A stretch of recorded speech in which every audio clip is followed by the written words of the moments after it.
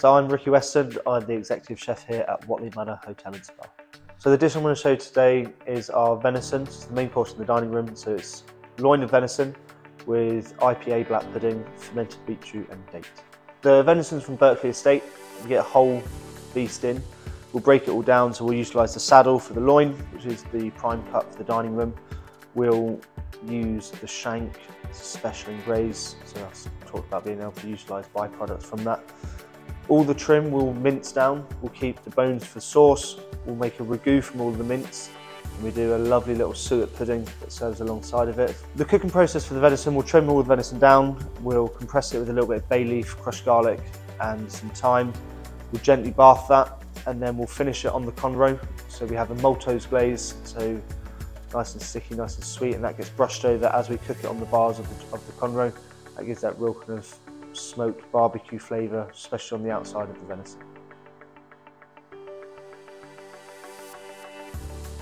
The rest of the garnish we have fermented beetroot. So the beetroots that came from the garden when they're being grown, we've preserved them down as lactic acid fermentated.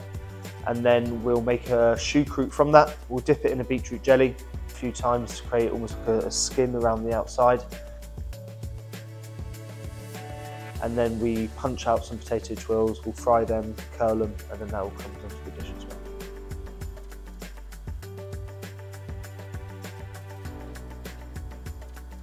So to plate the venison, we must start off with our fermented beetroot. So we've got that on the plate first, along with the beetroot ketchup.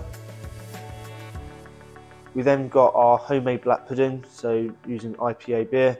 That goes on with our date purees alongside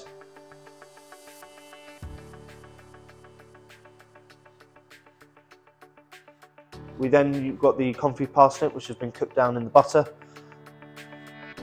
And then finished off with our potato tuiles and then the sturgeons from the garden.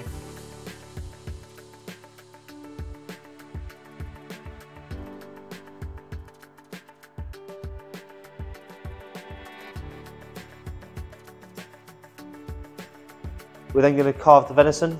So we've just taken it off the konro, carve it open to show the cuisson from the meat and that goes on the plate with the sauce itself. And then to serve alongside we have our miniature venison ragu suets which we smoke at the table inside the dome. So there we have our Berkeley Estate venison loin alongside fermented beetroot, dates and homemade black pudding.